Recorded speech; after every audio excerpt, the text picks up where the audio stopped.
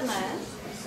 Já vás tady zase uh, vítám na bloku expertů a zároveň tady uh, vítám Janu Horákovou. Uh, Jana Horáková je docentka na Ústavu hudební uh, vědy tady na Filozofické fakultě a zároveň je garantkou oboru teorie interaktivních médií, což si myslím, že by mohl být potenciálně obor, který by s námi mohl mít uh, hodně společného, ale mám takový pocit, že se že o sobě úplně moc nevíme, takže i proto jsem ji pozvala do bloku expertů a a doufám, že to pro vás bude taková inspirace, že se dozvíme a víc o, o tom, co se děje tady a na naší fakultě.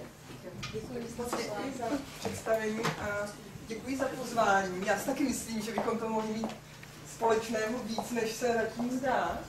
A já teda jsem si připravila do bloku expertů, že vám řeknu něco, a teď nevím, na koho se, já se budu dívat sem, nebude vám to vadit. a na prezentaci potom.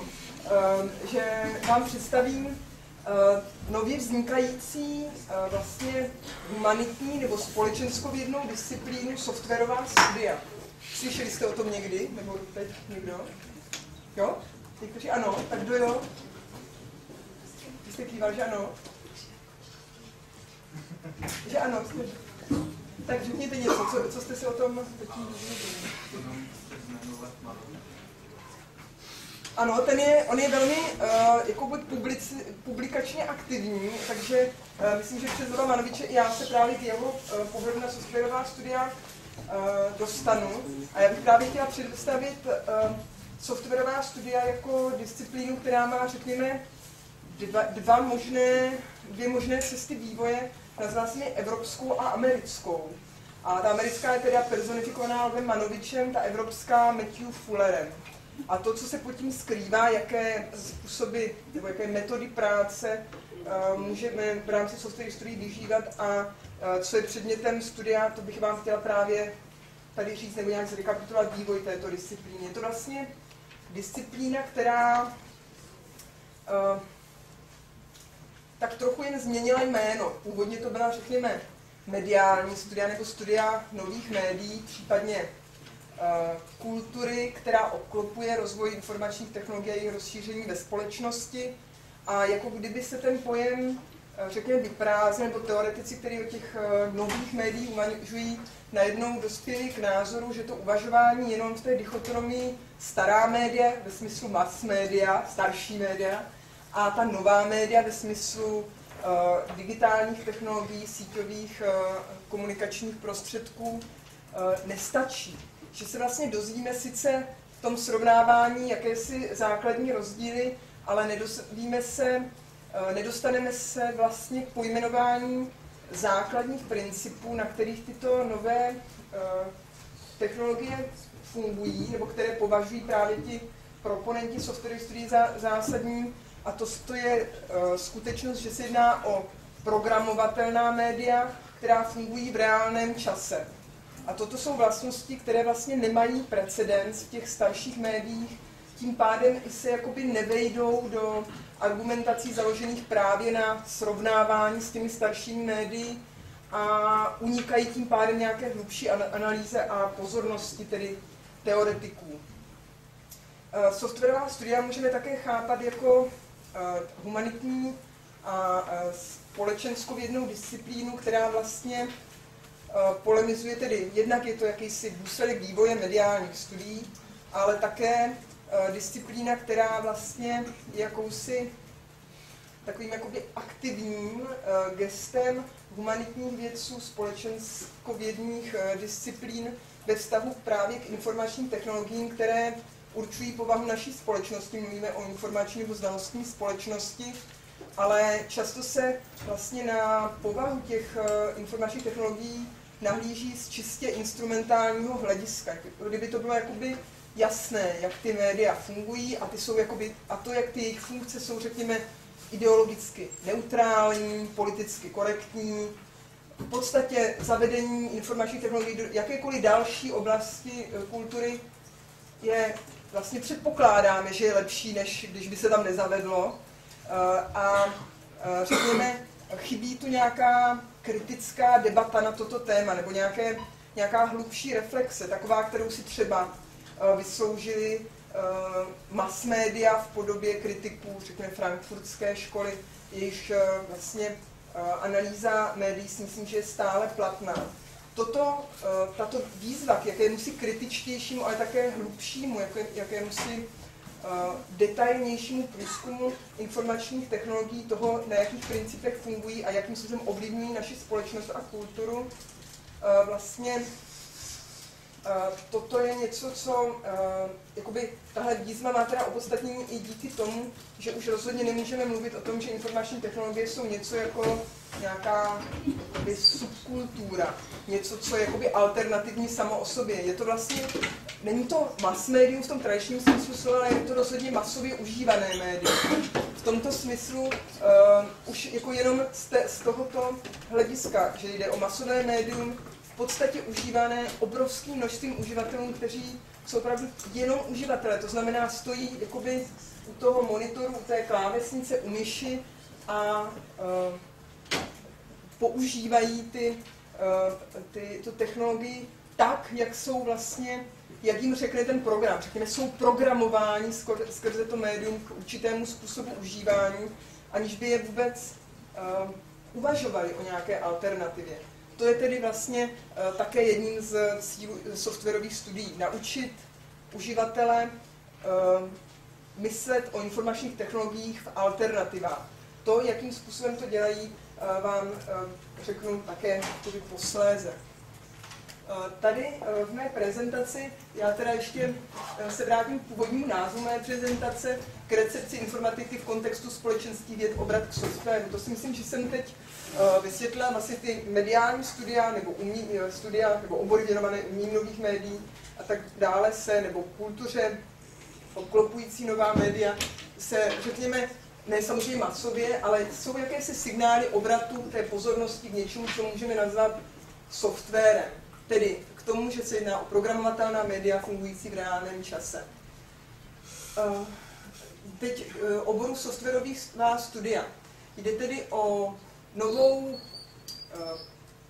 disciplínu, nebo spíše takový jakýsi uh, program výzkumný, nebo, který má spoustu pod výzkumných úkolů, který se zaměřuje jednak na Uh, jakoby základem je samozřejmě nějaká větší znalost a informovanost humanitních vědců, co se týče informačních technologií a jejich fungování. A toto propoj, a propojení těchto poznatků právě s už tradičními metodami práce které, se které využívají tradiční humanitní, uměnovědné, sociologické, prostě sociologie a tyto, tento typ disciplín. Software je přitom nejenom předmětem zájmu těchto teoretiků, ale také prostředím, ve kterém pracují a prostředkem, který jim slouží k něčemu, co můžeme nazvat, řekněme, základním výzkumem kulturního softwaru. Kulturní software to je zase jeden z pojmů, které zavádí Lev Manovič v této souvislosti. Eh, já jsem vám tady právě chtěla ukázat, eh, jak, by, jak to vypadá třeba, když vstoupí do debaty o tom, co je software eh, humanitní vědci. Zatímco tady na Wikipedii, jak se viděli, jsem si, najdete definici softwaru v poměrně jednoznačně, jednoduše definovanou jako, řekněme, počítačové programy a, jako, a vlastně ve vztahu k datům, eh, vlastně to, co řekněme, eh, jak když se zjednodušuje, jak se říká, to, na co si nemůžeme šáhnout a stýká se to počítače. Ale řekněme teda data uložená v počítači a software nebo programy, kterými je můžeme nějakým způsobem s nimi eh, manipulovat.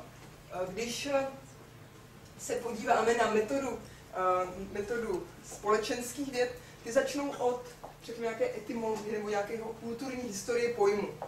Takže zjistíme, že pojem software se jakoby nějakým výzkumem se, eh, se, se zjistilo, že první použití pojmu software máme z roku 1850 a v té době tedy byl používán v zcela jiném smyslu, než to známe teď. Software znamená vlastně organický odpad, který se může rozložit a hardware byl vlastně vše ostatní.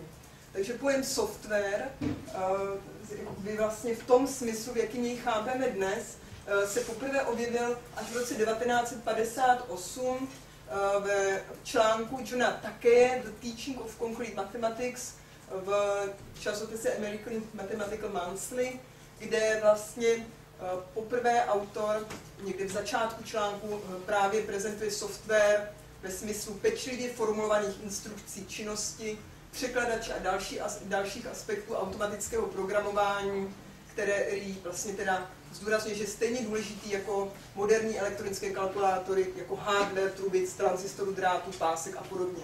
Zajímavé je, že už to, to druhé datum, ten rok 1958, eh, bylo vlastně, nebo bylo vydolováno teda z, eh, z těch dat umístěných v, na, na, na internetu tak, že myslím, že John Shapiro vlastně udělal průzkum na odborných, eh, odborných článků umístěných v JSTORu a vlastně vydoloval všechny prostě, kde se objeví software a vlastně už tam vidíte, že ten, eh, vlastně ten vyhledávač se stane eh, vlastně i jakoby metodou práce těch softwarových studií. Takže vlastně to je vydolovaný teda vlastně nějaká historická data o softwaru, něco, co by bylo nesmírně náročný a vlastně stálo by to opravdu zřejmě generací možná, než, eh, nebo aspoň pár uh, desítek let, než eh, třeba někdo na to, na to objevil. Dalším takovým mezníkem je vývoj softwaru, abychom teda začali, uh, tak to náš výklad je řekněme rok 68 až 69 a to je, mám na mysli moment, kdy se software jakoby emancipuje od hardwareu, není vlastně automaticky jakoby připojen jako součást balíku, když si kupujete počítač, ale stává se autonomní komoditou, eh, na kterou se samozřejmě uplatňována nějaká autorská práva, eh, a která může být ale také jakoby eh, volně distribuována, může být podrobena nějakému jakoby konkurenčnímu boji na trhu.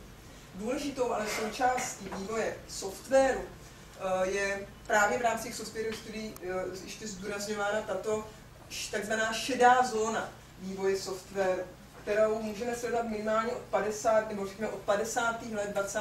století. To jsou různé ty subkultury hackerů, eh, nebo prostě takových těch eh, nadšenců počítačových, eh, zhromažďujících se někdy na univerzitách a po nocích prostě zkoumajících možností toho nového média, hackerské hnutí, open source a free software hnutí, kolem kterých vlastně které do velké míry vlastně eh, nebo to je jako jeden z cílů právě těch softwarových studií, zapojit i tyto alternativní způsoby eh, práce se softwarem, softwarem, který nevzniká jakoby někde vně té společnosti a její jakoby přinesen jako hotový balíček, ale vlastně v jakési spolupráci těch členů té kultury, vlastně, že to je vlastně ten, ten takzvaný, to je ten kulturní software, jako tohle by mělo být i předmětem vlastně z výzkumu těch akademiků nebo těch, kteří jsou věnovat takzvaným softwarovým studiím.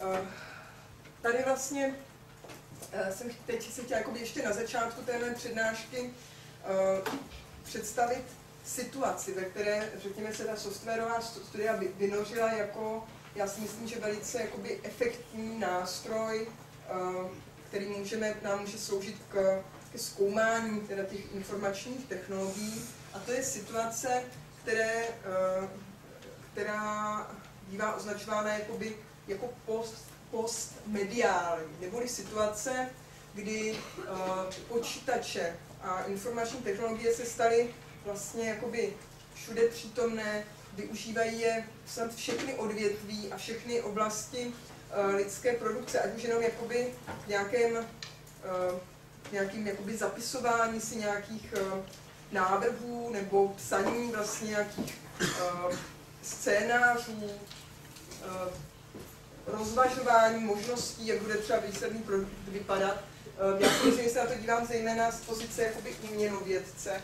To znamená, já to můžu vidět vlastně zejména v tom, uh, že řekněme média umělecká zasáhla informační, zasáhly informační technologie v plném rozsahu. Vlastně můžeme říci, že bavit se o jakoby, umění nových médií v dnešní době je jakoby, problematické v tom smyslu, že vznikají třeba fotografie, které se vystavují, nebo eh, digitální obrazy, které se ale vystavují v galerii jako vlastně jako nějaký obraz, eh, nebo je hudba komponovaná prostě využívající vlastně počítače a tak dále. Přesto to nemusí být nutně uh, jakoby med, nebo to není vlastně to uh, mediální v pravém smyslu slova. Já nevím, uh, spisovatelé píšou na počítači, určitě na napsacích strojích a tak dále. Vlastně ten počítač se stal jako vlastně jako ideální simulátor nějakých přírodních katastrof a různých jevů, se stal ideálním simulátorem nástrojů všech umě, druhů umění. Od štětce po nějaký komponovací prostě, nějaký komponovací prostředí uh, a tak dále. A vlastně v této své uh, schopnosti se stal jakýmsi uh, médiem, které jednak samozřejmě přebírá vlastnosti těch dalších, nebo ty formy těch starších médií, protože bychom jim nebyli schopni rozumět. To znamená, že nevím, stránky v, počíta, nebo v počítači píšeme v prostředí, které připomíná pracovní uh, pohybujeme se v prostředí, které odpovídá nějakým karteziánským souřadnicím, se, jestli myslím žádný prostě uh, nějaký jiný možnosti a tak dále. Takže my přebíráme samozřejmě uh, filmový jazyk, střih a tak dále. Uh, přebíráme při tom budování toho počítačového světa, ale zároveň on nám nabízí jakoby třeba velice volný pohyb právě těmi jednotlivými druhy umění. Proto bývá počítač považován za jakousi metaforu nebo jakoby symbol této postmediální doby, protože vlastně ideálním prostředím této konvergence, řekněme, a hybridizace médií, ke které dochází ale ve sféře umění i mimo počítač. Víme o intermédií, kdy se prostě propojují různé druhy multimédií, performancí vlastně o různých, nejrůznějších způsobech překračování těch, těch hranic tradičních médií nebo jejich propojování. Další charakteristickou vlastností postmediální doby je zrovnoprávnění všech uměleckých médií, tradičních i nových. Mám na, na mysli to, že uh, už není vlastně nějak moc avantgardní jako je to stej, má to asi stejnou hodnotu a jako význam, jestli si rozumíte, že namalujete obraz olejovými malbami nebo uh, natočíte video, řekněme. Už to vlastně ten svět umění jako akceptuje všechno jakoby stejně, už to není žádný jakoby pohyb, prostě nějaký takový jakoby revoluční gesto, který najednou káže, já teď jako nebudu dělat to vaše umění jak v tomto tradičně a dělat nějaký prostě avantgardní. Ti umělci si vlastně můžou pohybovat tou sférou umění, vybírat ty prostředky nejrůznější a uh, i to můžeme chápat jako vlastně nějaký uh, charakteristické právě pro tu tedy postmediální dobu. A další charakteristickou vlastností, která zasáhla zase celou sféru umění, je oslabení důrazu na vztah médium-obsah ve prospěch kódu, skriptu, scénáře či algoritmu umělecké tvorby. Mám na mysli různé konceptuální umění, různé uh, vlastně uh, scénáře určené vlastně k jejich realizaci, uh, různé partitury, které, nebo uh, různé jakoby, instrukce určené k, k, teprve k realizaci, které umělci tvoří vlastně mimo sféru mediálního umění a ve kterých můžeme najít analogie s počítačem, ale také počítače jako jejich ideální uh, prostředí. Tady z těchto vlastností, eh, těch eh, informačních technologií, ty, ty vlastně byly eh, vlastně přítomné v tom de, de, debatě o tom, co přinese, řekněme, počítač nebo informační technologie do umění od jako velice brzy. Už třeba v roce 1977 Ellen Kay a Adele Goldberg v článku Personal Dynamic Media napsali, tak ačkoliv byly digitální počítače původně vytvořeny pro aritmetické výpočty jejich schopnost simulovat detaily jakéhokoliv deskriptivního modelu znamená, že počítač, chápán jako médium, může být jakýmkoliv jiným médiem, pokud jsou tyto stělesňující a zobrazovací metody dostatečně naplněny. Navíc, toto nové metamédium je aktivní, reaguje na připomínky a experimenty. Neboli uh, počítač jako umělecké médium nebo informační technologie je zvláštní tím, že je zcela mediálně nespecifický. On je prostě chameleon, může být cokoliv. On se může tvářit jako, jako stará fotka, jako starý film, nebo úplně jako nějaký zase high-tech cokoliv. Může být chvilku se tvářit jako, že to je hudební kompozice a pak se to promění a ukazuje se, že to je obraz. Jako může být uh, vlastně může, dělat, může prostě jako simulátor, jako něco, co je prostě, co simuluje, modeluje nějaké, uh, nějaké um, jakoby jevy z fyzického světa, je prostě dokonalý. Uh, navíc ještě uh, umožňuje velice snadno vlastně vstupovat do těchto jevů a nějakým způsobem ještě modifikovat. Proto teda s Goldbergovou uh, zavádí pojem metamédium, jakoby médium, které zastřešuje všechny ostatní média, která do něho postupně jakoby konvergují, protože to prostředí je jakoby ideální pro práci s. Uh, dalším takovým teoretiky, kteří se zabývali touto zvláštní povahou počítačů jako něčeho, co rozhodně uh, vlastně nemůžeme zkoumat, nebo je problematické a vlastně ne, Eh, nepravděpodobné, když mluvíme o počítači nebo informačních technologiích eh, a snažíme se hledat nějakou jejich to tvrdé jádro, které je bude jakoby charakterizovat, jakousi esenci média. Eh, právě teoretici J.D. Walter a Richard Grusin v knize Remediation Understanding Media z roku 2000, která je aspoň v mém kontextu velmi jakoby citovaná, Ehm, právě eh, inspirován Michelem Foucaultem a jeho eh, archeologií vědění a takovým tím důrazem spíše na genealogii různých jevů, než na nějakou lineární osu nějakého vývoje, zdůrazňují, že počítač je vlastně takovým hybridem, hybridem spojujícím v sobě vlastnosti tohoto nového média, založeného na nějakých číselných reprezentacích a eh, nějakých logických algoritmických zápisech, ale i se všemi formáty těch starších médií Eh, filmu, fotografie, obrazu eh, a tak dále. Proto říkají právě, že eh, nejlépe můžeme pochopit ten, vlastně to, co přináší tedy, co je nového na počítačích, je právě ta jejich to způsob, jakým ovlivňují třeba proměny těch starších médií a zároveň, jakým způsobem jsou ty vlastnosti starších médií jakoby přenášeny, ale zároveň v tom přenosu i proměňovány v prostředí informačních technologií. Eh, protože potom samozřejmě tady v tom, kdybychom uvažovali o těch čistých médiích, tak narazíme velmi brzy, vlastně v současnosti už na uh, spoustu problémů, například v souvislosti s digitální televizí.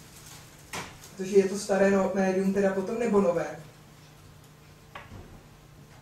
Jo, to prostě jako by takhle asi ne, prostě nefunguje. Stejně jako, já nevím, spousta efektů a úprav filmu. To by, ty by měly všechno patřit jako by samozřejmě těm správně, těm starším médiím. A není tomu samozřejmě tak, tam jsou ještě další kritéria, které je potřeba brát potaz, když se teda o nějakou definici pokusíme. Uh, Peter Weigl ve svém uh, textu Genealogy of Media Arts z roku 2008 je zřejmě nejradikálnější z teoretiků, které jsem tady pro vás vybrala, jejich slova, který, ten dokonce tvrdí, že počítače, informační technologie nemůžeme považovat pouze za nějakou metaforu postmediální doby, která prostě napadla i sféru umění a možná no a prostě i ostatní oblasti e, kulturní produkce, ale že právě informační technologie jsou přímo tím agencem, tím motorem této změny, že právě naše zkušenost s informačními technologiemi způsobila, že my vlastně jsme jakoby uh, připraveni na, na jakýsi volný pohyb mezi uh, druhy umění, mezi různými věmi a tak dále. Uh, tvrdí tedy, že vlastně naše zkušenost s počítačem je něco, co určuje i vlastně nakonec těmi algoritmickými pravidly a, program, a programování, na kterých jsou založení, že to všechno určuje Eh, vlastně naši to, že vlastně došlo k postmediální situaci. Dokonce tvrdí právě obrací tu situaci, že nikoli, že došlo vlastně si konci historie nových médií, jako ve smyslu umění nových médií, jako nějakého si odděleného, izolovaného vývoje, nějaké alternativy eh, k, řekněme, tomu takzvanému normálnímu, mainstreamovému třeba umělecké produkci, Eh, vlastně, že vlastně ve chvíli, kdy se ty informační technologie rozšíří do všech oblastí, že vlastně je konec eh, mediálního umění, který, že to je naopak, že to je to pravé vítězství informačních technologií, protože oni jsou vlastně jakoby všude přítomné.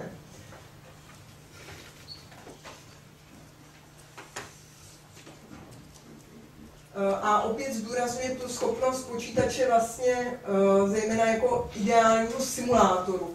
A to nejen do toho, že vlastně jakoby umí jakoby předstírat na povrchu, že je jako, že je třeba fotograf, že vytvořil starou fotografii, ale že dokonce je schopen vlastně přejímat i určité jakoby styly, nebo řekněme rukopis umělecký, nebo nějaký jakoby ty procesuální části, které s uměleckou tvorbou se pojí.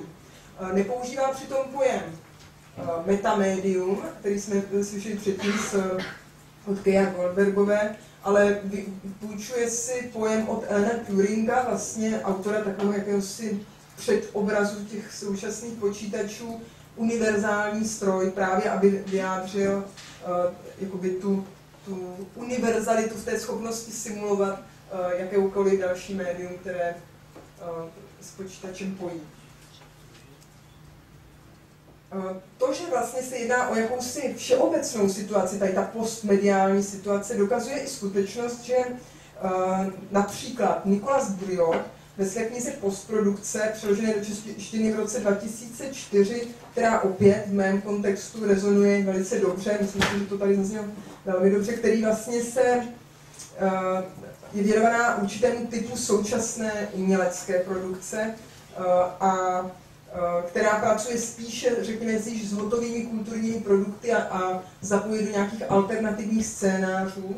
Eh, mluví také o kultuře užití, eh, že vlastně si vypůjčuje tento kurátor a teoretik proto, aby popsal umělecká díla, která vůbec nepatří do mediálního umění, pojmy, které my si pojíme s užívání nebo s užíváním informačních technologií. Píše například, že umělci spíš programují, než že by vytvářeli umělecká díla. A vlastně, když chce charakterizovat to, co vlastně, jak vypadá dnešní umělec, tak eh, právě eh, se zase eh, vlastně uchyluje k přirovnání umělce jako DJ, který vlastně vytváří za prvé, pracuje s díly jiných, jiných autorů, jakými hudebními nahrávkami, zpracovává vlastně tu hudbu nebo to své dílo produkuje jakoby v reálném čase teď, v reakci na to, co se teď děje, na atmosféru, řekněme, v sále a bez nějakého větší ambice o jakoby vytvoření nějakého definitivního, konečného, uzavřeného díla. Takovým teda předobrazem nebo nějakým vzorem současného umělce obecně teďka, že je DJ nebo programátor. Takže vidíte, že i jakoby skrze ty pojmy, jazyk, který používají současní kurátoři, se uh, ten počítač a ta jeho jako logika vlastně toho užívání, uh, která se pojí s informačními technologiemi, rozšiřuje naší kulturu a společností. Řekli jsme si teda, že jsme se ocitli na, jakési, na jakémsi konci dějin mediálního umění, protože už nemůžeme, ty média se, ocitli jsme se, řekněme, na konci Eh, dějin mediální umění v tom smyslu, v jakém mluví Hans Belting o konci historie, o, o konci dějin umění. Protože mluví o konci dějin umění tak, jak je známe. Takže my o, můžeme mluvit také o konci dějin umění, tak, teda médií, tak, jak je známe. Eh, potom následuje eh, vlastně jakési míšení a třepení žánrů a vlastně jakési Eh, rozplynutí se, řekněme, těch jednotlivých forem, které se už dál nevidí, ale spíš se tak eh, jako rozplynou a propojí spolu eh, vzájemně. No a řekněme, v tuto chvíli možná právě byl ten pravý čas pro to, aby si teoretici všimli té, té, té specifické vlastnosti nových médií, no, informačních technologií, která je tedy právě ta jejich, to, že jsou to programovatelná média fungující v reálném čase, tedy opět, že jde u nich především o jakési skripty, scénáře, partitury, které skrytě, řekněme, animují naše chování a naše, eh, naše způsoby vlastně zacházení s těmi a využívání těch technologií, způsoby, jak spolu komunikujeme, jak se prezentujeme a tak dále. Tady vlastně tento text Eh, je vlastně jakým takovým startovým bodem, řekněme, našeho výkladu o těch, o těch softwarových studií. Autorem je, jak vidíte, Matthew Fuller. Eh, je to text, který je eh, prezentoval v předmluvě své knížky Lexicon of Software Studies, který dělal v roce 2008 a který vlastně navázal bezprostředně na takový jakoby ten okamžik, řekněme událost, která softwarová studia, kterou studia započala, které jsme dále věnovat. On právě vysvětlil, co, jako proč teda se obrátit k softwaru. Software je často slepým bodem širších obecně kulturních teorií a studií výpočetních a síťových digitálních médií. Tento stav není způsoben jednoduše tím, že nůž pracující koláč umění a humanitních věd nezná běžnou strukturu dnešních pracovních životů, která zahrnuje textové editory, webové stránky, vyhledávače, mail, databáze, obrazové editory, zvukový software a tak dále, ale tím, že software je všeobecně považován za záležitost naplněné instrumentality. Z hlediska aplikované logiky existuje software jako něco, co vzniklo skrze intenzivní formalizaci a nyní existuje oddělen od jakýchkoliv vazeb mimo sebe. Software je chápán jako nástroj, něco, s čím se něco dělá. Je neutrálně šedý nebo optimisticky modrý.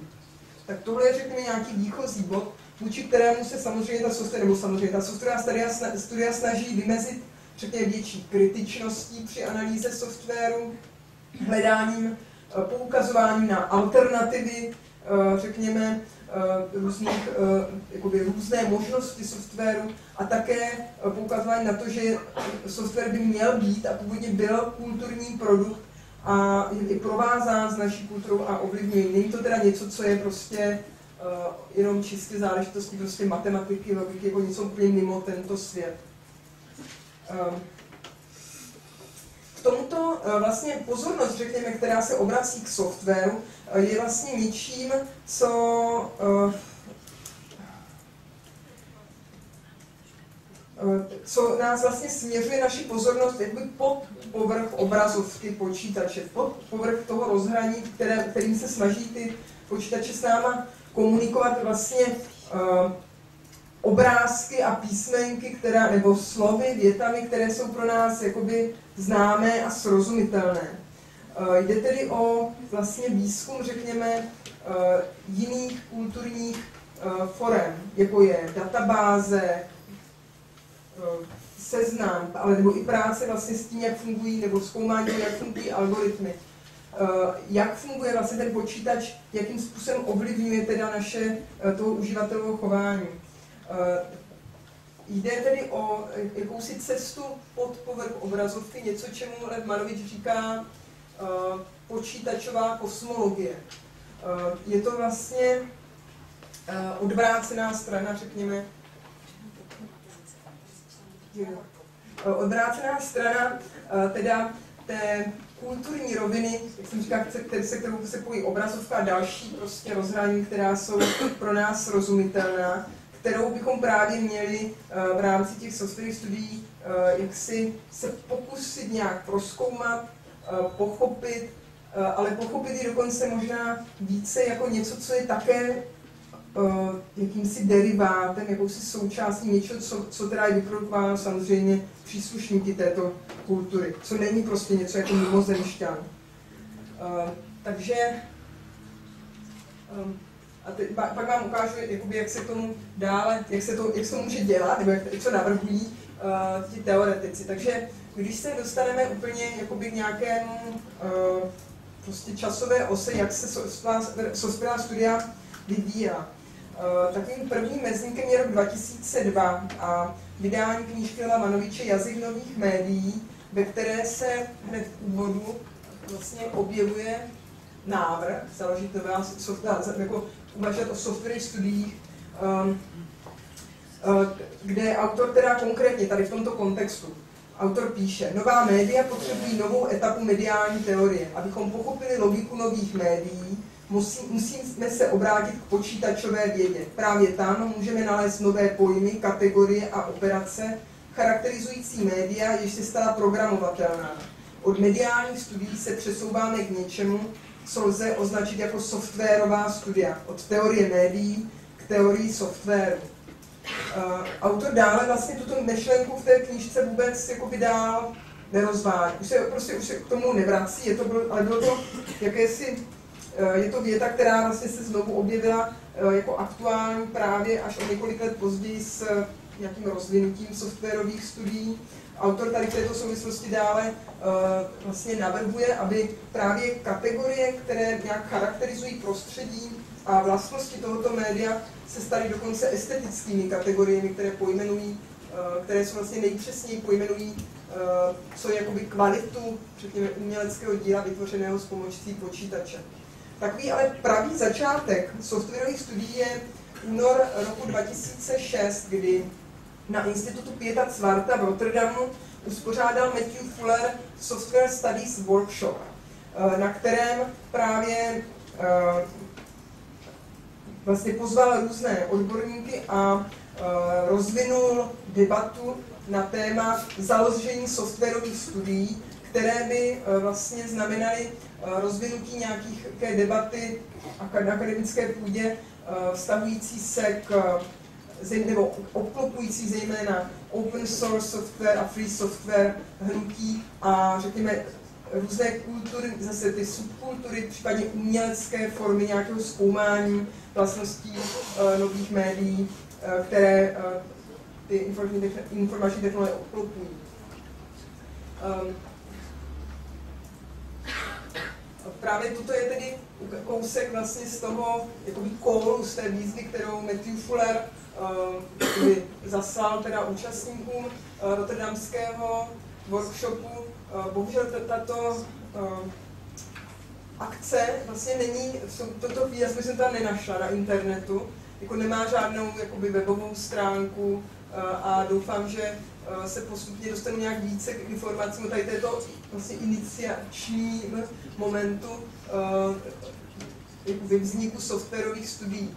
Rozhodně ale tady vidíte, aspoň ke konci tohoto citátu jde přesně o to, jakoby neponechat vývoj informačních technologií pouze uh, informatikům, pouze jakoby matematikům, uh, počítačovým vědcům, programátorům, zapojit se vlastně, jako učinit informační technologie předmětem uh, celospolečenské debaty.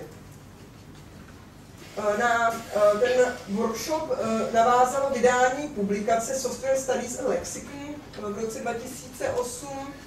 Má specifický, jakoby, specifické uspořádání, které vlastně nemá úplně nějaký, jako, má podobu prostě lexikonu, slovníku. Tady máte ukázku některých hesel, které jsou zde zpracovány formou takových příspěvků. A je to teda první publikace, která má softwarová studia přímo ve svém jakoby, názvu. Už to není slovo, které někde prostě najdete jakoby, na nějakém jako uvnitř te textu, ale přímo se vlastně hlásí svým titulem k tomu, že uh, zde vlastně začíná nějaká první reflexe softwarových studií. Uh, na vlastně vydání Software Studies Lexicon zareagoval Lev Manovič, a ve stejném roce založil na University of California San Diego Software Studies Initiative, kterou vede právě Letmanovič, Benjamin Breton a Noah Bardry Fruin. A můžeme říci, že jakoby Manovič pochopil, že tady se jakoby někdo vzal téma, který on jakoby někde načal a pak se už k němu nevracel a že uh, jakoby uh, pochopil, že se musí jakoby rychle zapojit do té debaty, aby byl jako, jako stát se jakoby spoluhráčem. Uh, což také tomu nasvědčuje i uh, webová stránka, která je věnována uh, workshopu software z roku 2000, 2008, z května 2008, kterou právě to UC, uh, teda University of California uh, San Diego Software Studies Initiative uspořádali a která už otevřeně říká, že, se, že jako jde o workshop americký nebo příslušníků Spojených států, občanů Spojených států amerických nebo těch odborníků ze Spojených států amerických, kteří budou zkoumat jejich přístup k softwarovým studiím. Bylo to vyloženě formulované způsobem, jako učíme softwarové studia jakoby, jakoby teda našimi, protože jako on byl teda, je pravda, že byl autorem uh, uh, teda toho pojmu. Takže můžeme říci, že v tuto chvíli se eh, tak trošku rozděluje výzkum softwarových studií na takzvanou americkou větev a evropskou, jak jsem to nazvala, i když je to samozřejmě takové jakoby schematické rozdělení jenom pro potřeby nějaké lepší orientace, protože hned v zápětí jak si ukážeme, se, se samozřejmě ta spolupráce dá jakoby propojila. Ještě takovým bodem důležitým, teda zase na té časové osě, zase rok 2008 Dylan Manovič na svých stránkách publikoval softbook Software Takes Command, která doteď vlastně nebyla, chvíli jsem viděla, že jako inzeroval, že bude v roce 2012 vydaná, ale doteď je vlastně v takovém otevřené podobě té soft knihy, kterou, může, kterou on aktualizuje a které můžou, můžou doplňovat jakoby komentáře její čtenáři na jeho stránkách k dispozici. Uh, mezi tím už byla, myslím, že i přeložena do italštiny nebo španělštiny, si nepletu, ale ještě prostě on ji sám ještě nevydal. Uh, takže to vidíte, že jako, jako ta rychlost, jakou zareagoval, aby vlastně se stal součástí uh, teda té debaty o software studiích a její budoucí podobě. Na tom workshopu Software 2008 Eh, se současně eh, bylo dohodnuto, že MIT Press založí novou ediční řadu Software Studies a jinými jakoby, hlavními editory eh, se stali právě Matthew Fle, Lev Manovič a Noah Vardry Fruin. Takže to je jakoby teda ten, ten set časové osy. Ještě, jo, a teď ještě k tomu té ediční řadě, oni právě sformulovali text, který si můžete na stránkách MIT Press přečíst, a já jsem ho nazvala vlastně jakýmsi manifestem softwarových studií, protože jsou pod ním prostě podepsáni všichni tři nejvýznamnější představitelé uh, softwarových studií. Uh, já bych asi, uh, že jsem tam nějak silněji vyznačila, co je tam důležité, a to už není vůbec vidět. Uh, takže já bych tam jenom asi zdůraznila tato slova. Softwarová studia využívají a rozvíjí kulturní, teoretické a praktické přístupy k tomu, aby vytvořila kriticky, historicky a experimentálně zaměřený soubor poznatků, zaměřených a vytvořených pomocí objektů a procesů softwaru. Ehm, dále ehm, je zde mapuje způsoby, jakým je software substanciálně integrován do procesů současné kultury a společnosti, nově formulujících procesy, myšlenky, instituce a kulturní objekty v jejich blízkosti pomocí algoritmického a formálního popisu a akce. Eh, a na konci je tedy i eh, jakoby, zmínka o tom, jak teda ty softwarové studie budou zkoumat, teda o metodách práce, využívají přitom přístupy akademiků z humanitních a sociálních věd a způsoby tvorby nebo výzkumu počítačové vědy, umění a designu.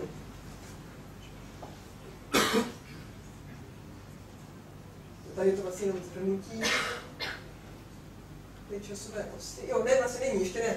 V roce 2011, eh, na podzim roku, toho roku, eh, ještě Matthew Fuller s kolegy eh, založili online review a veřejně dostupný časopis Computational Culture, který už má vlastně, vyšlo tam první číslo, hned první článek, jinak jsou to, je to sborník vlastně příspěvku z konference, která vlastně ještě předcházela eh, tak trochu těm softwarovým studiím, takže je to takový jakoby přechod k softwarovým studiím, věnovaná zejména uh, různým metaforám, jakoby mysli a nevědomí v souvislosti s povahou teda uh, prostřední informačních technologií, ale je tam také článek od Vamanoviče a potom nějaké recenze ale vlastně tohle je tedy uh, ta platforma, na které se také můžete dozvědět něco, kam směřuje vývoj uh, softwarových studií. Teď tedy k, uh, k metodám práce.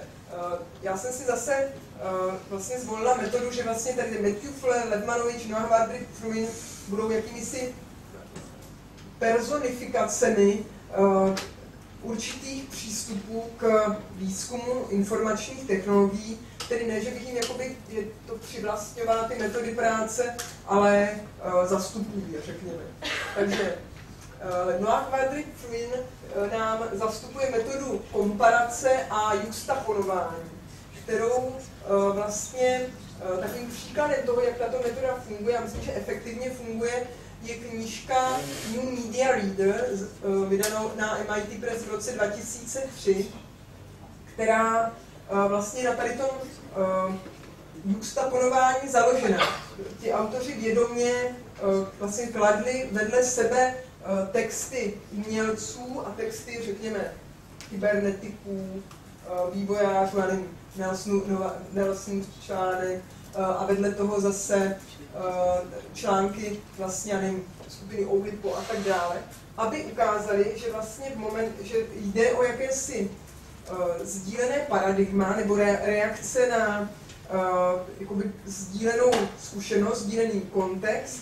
A uh, a teď je otázka, jestli, jestli máme hledat teda spíše nějaké ty analogie a uh, vlastně shod, shodu v těch přístupech, anebo naopak jakousi nesou vlastně, vlastně nes, ne, spíše uh, jakési rozpory nebo různé možnosti toho přístupu k řešení té situace. Dobře je to vidět hned na úvodních studiích uh, Borgese a Vanevara Bushe, ke kterým vlastně jako nějakých prototypech hypertextu, ke kterým se vlastně vyjadřují oba autoři předmluv k tomuto sborníku, jak Lev Manovič, tak Janet Murray.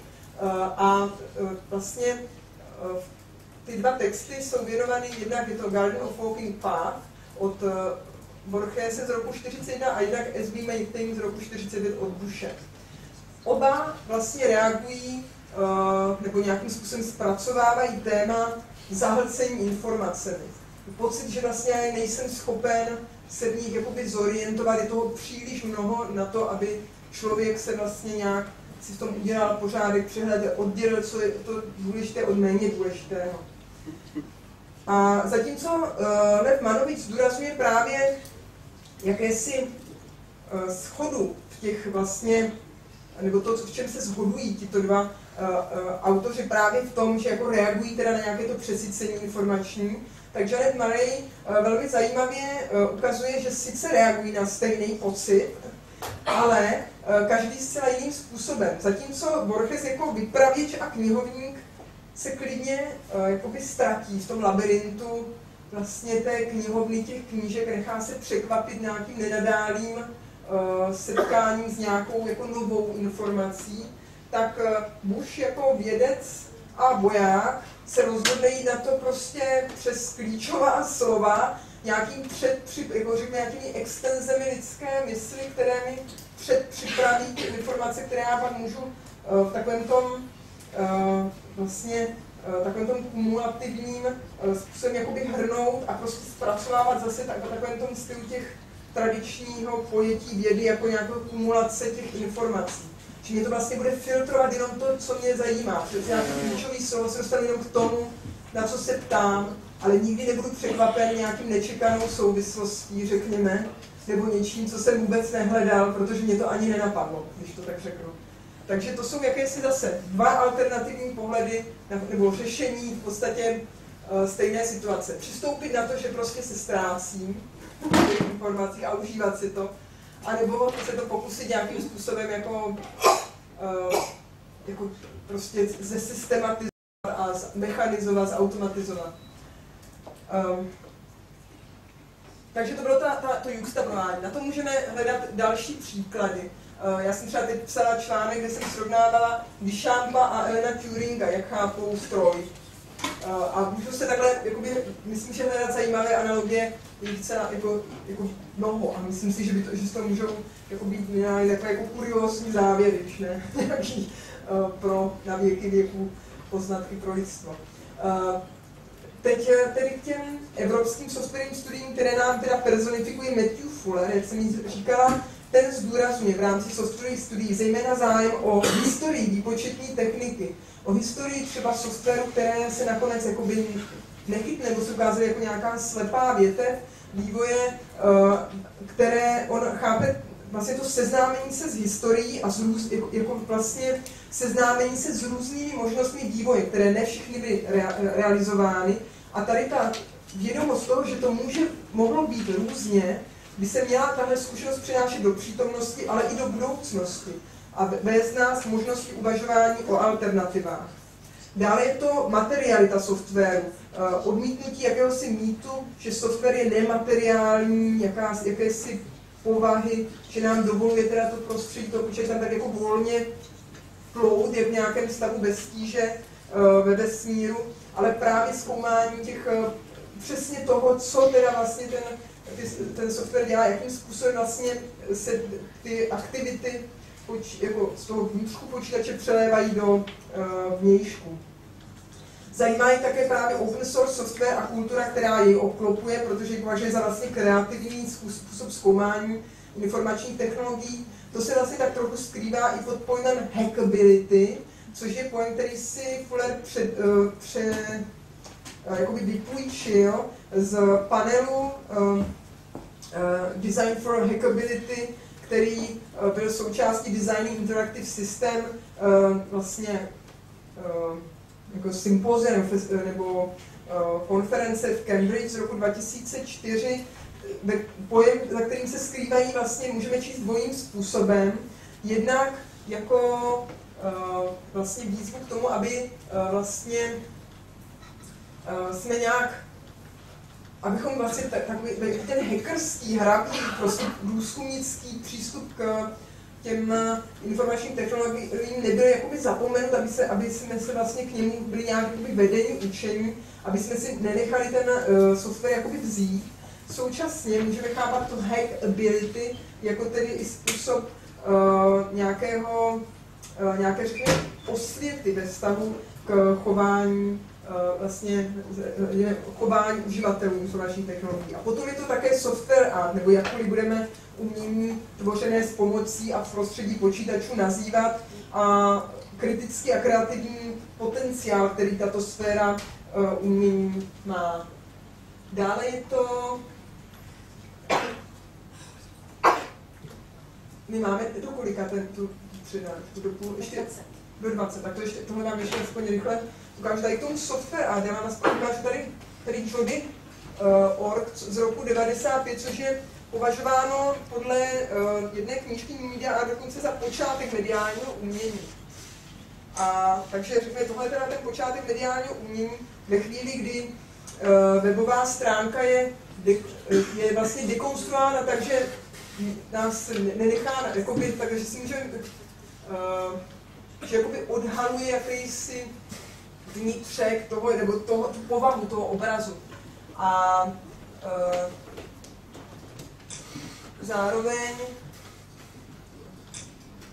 jde o jakýsi konceptuální hříčku, kdy uh, autoři vlastně do zdrojového kódu vepsali, nebo vepsali obrázek, tak řeknu, uh, vodíkové bomby a čekali prostě, co se na tom povrchu uh, bude dít.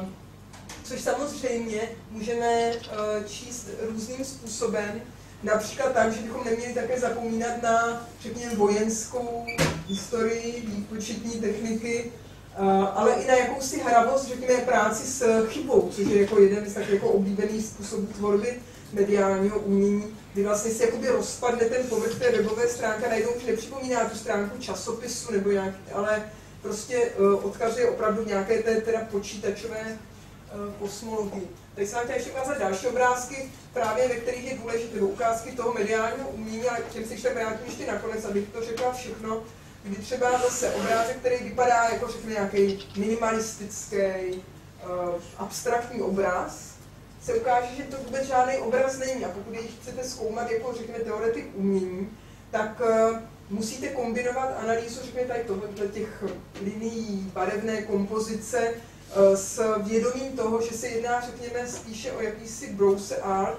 že se jedná o rozhraní, které vytvořil ten umělec. A v podstatě tady to, uh, ty, ty linie, řekněme, geometrické, Eh, neodkazují abstraktnímu umění, ale právě k jakési třeba dekonstrukci, přivlastnění eh, vlastně eh, jiné stránky jiného autora. Americká softwarová studia nám reprezentuje nebo personifikuje Lev Manovič. Ten zavádí pojem kulturní software, který chce tedy v rámci softwarových studií zkoumat. Tím rozumí určité typy softwaru podporující akce, které normálně spojujeme s kulturou. To znamená, zabývá se zejména uh, nějakými, uh, nevím, uh, takovou jakoby amatérskou uměleckou tvorbou, uh, vys, jakoby obrázky vystavenými na Flickru, uh, na Facebooku, uh, různými způsobem jakoby produkce nějakých dat a sebeprezentace na internetu. Nechápe teda ten software jako, jako celé šíři, jako třeba ten Fuller, ale zajímá ho spíše ta kulturní produkce. Dále je to pojem hloubková remixovatelnost, který zavádí a který v podstatě můžeme označit jako jakousi vylepšenou nebo updateovanou verzi jeho pěti principů nových médií, právě z jazyku nových médií, kterými je teda číselná reprezentace, modularita, variabilita, uh,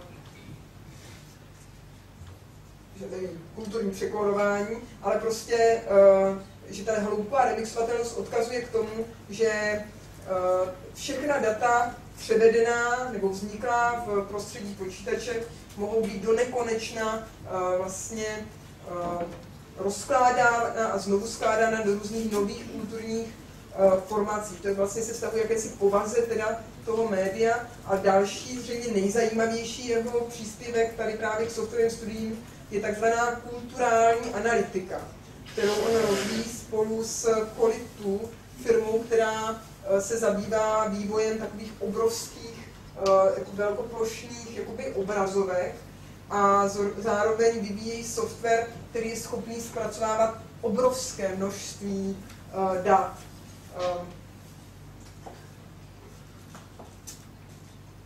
A právě mám pocit, že toto je vlastně cesta, kterou se uh, Manovič vydal jako vlastně jako, jako něco, na co jakoby vsadil v rámci výzkumu softwarových studií uh, na te, vlastně uh, jako, jako, jako svůj projekt.